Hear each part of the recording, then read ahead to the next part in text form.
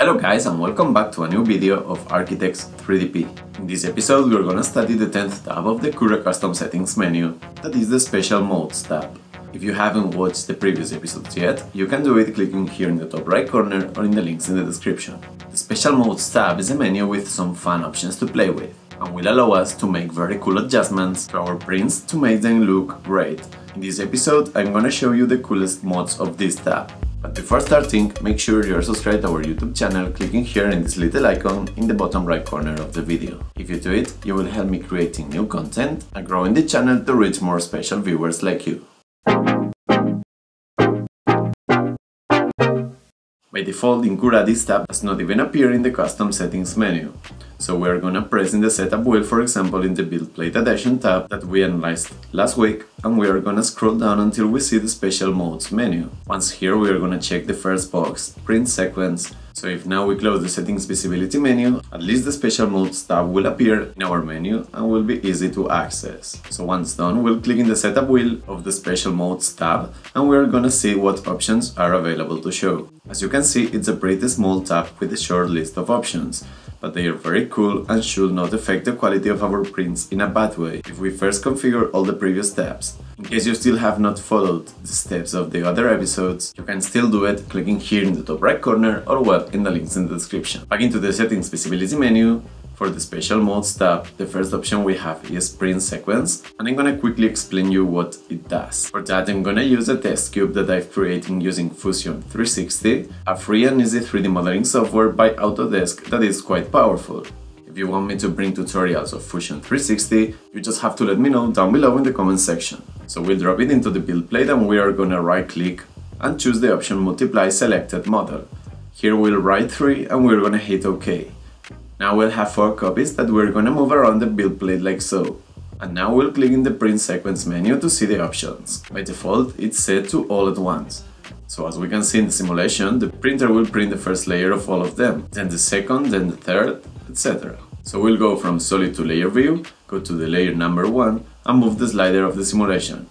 As you can see, it make the skirt and then the cubes. And that's what is going to happen for the rest of the layers. If instead we select the option one at a time, what is going to happen now is that first it's going to make individual skirts for every different cube, and then it will print the entire cube.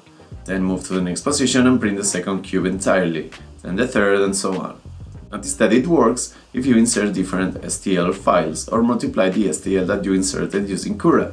It will not work if you insert an STL file that contains four separate objects, since Cura will understand that the whole STL is a unique object. To demonstrate that, I'm gonna quickly try to reproduce the scene using Rhino and insert this new STL with 4 cubes. As you can see, it does not matter what options you choose since it's gonna print all of them at the same time. Okay, so after this very long time dedicated to the first option, we're gonna delete 3 of the cubes and we're gonna center the one we left and scale it to 200%. Now we're gonna play with the next three options of the settings visibility menu, that are infill mesh, infill mesh order, and cutting mesh. But we're not going to activate these options, since we're gonna use the per model settings in the left hand side of the interface. To make them work, first we're gonna go to the setup wheel, go to general, and here we're gonna make sure that the options ensure models are kept apart and automatically drop models to the build plate are deactivated, if not these features won't work. Once done we're gonna multiply this cube with scale up to 200% one more time and move it diagonally like this, so now they intersect with each other. Now we're going to select the model that we just created and go to the per model settings. In mesh type we're gonna select modify settings for infill of the models. Now as you can see the cube has disappeared and only appears in the interior of the cube in the middle. Now, again in the per model settings, we're gonna click on select settings and we're gonna search and select infill mesh order, infill density, infill pattern, wall thickness, top thickness and bottom thickness. Now we're gonna select the modifying infill settings for this second body and set the wall, top and bottom thicknesses to zero. Now you can modify the infill or pattern for a certain part of the model, so we're gonna set the infill to 50% to see what happens. As you can see, we're gonna move it down and check all the layers. The space occupied by the modifying cube has the second infill settings we just set.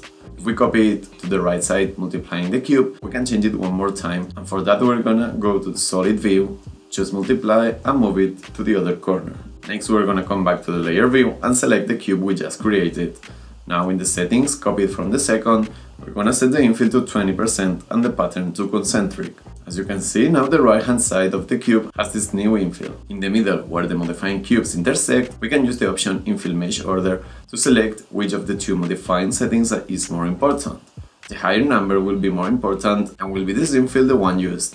So as you can see the winning infill is the one in the right, the order is 1, so if we set the order 1 to 2, we can see how now the winning infill is this one. As you can see, it's a very cool option to reinforce certain 3D models. After this, we're gonna see the next option below, so we're gonna delete two objects and let the first one to the original 100%. Once here, we're gonna activate in the settings visibility menu the next options. Mold, minimal mold width, mold roof height and mold angle.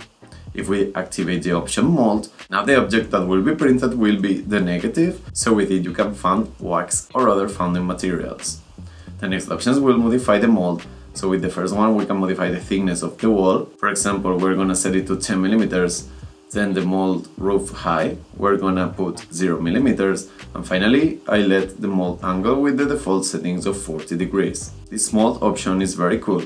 If you print the mold with a flexible material, then you can cast anything inside and then remove the mold carefully. If you want a dedicated episode for the mold option, you just have to let me know down below in the comment section. Now we're gonna open one more time the settings visibility menu and skip the next two options as well as the last one, since they are not that useful and we're gonna activate surface mode, spiralize outer contour and smooth spiralized contours. To test these settings, we're gonna insert a new STL file that is this rocket I created a while ago. If we move the layer slider, we can see that it has 2 to 3 walls, infill and so on.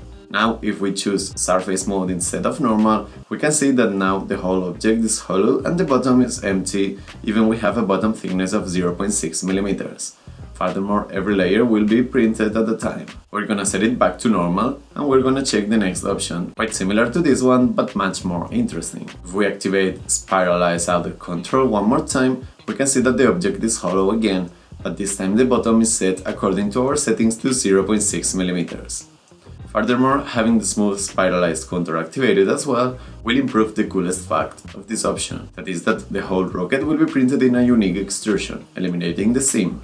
When using this setting, we should deactivate the retraction and retract that layer change in the Materials tab. This mode is especially cool when you print with transparent materials. Finally, we're gonna print the rocket using our Prusa i3 in this mode and we'll see the result. Here we have the printed object, that as you can see is amazing. We also printed this ball using the same technique and material, and as you can see, it looks awesome as well. Okay, so after these tests, we're done with this video. In the next episode on Wednesday 18th, we're gonna have an overview of the last tab of the Cura Custom Settings menu, Experimental. For me, the coolest tab of the whole menu, that as his name says, is still in development. Now stay tuned for the new content in the upcoming weeks, hit the like button, share the video, leave a comment, and subscribe to our YouTube channel clicking here in this little icon. You can also follow us on social networks at Architects3DP to get the latest news, and please consider supporting my work on Patreon to keep making this channel possible. Besides helping us and making us super happy, you will also get nice rewards that you can check in our Patreon's page navigating to patreon.com slash architects3dp or clicking in the link in the description. Okay, so as always, see you in the next video.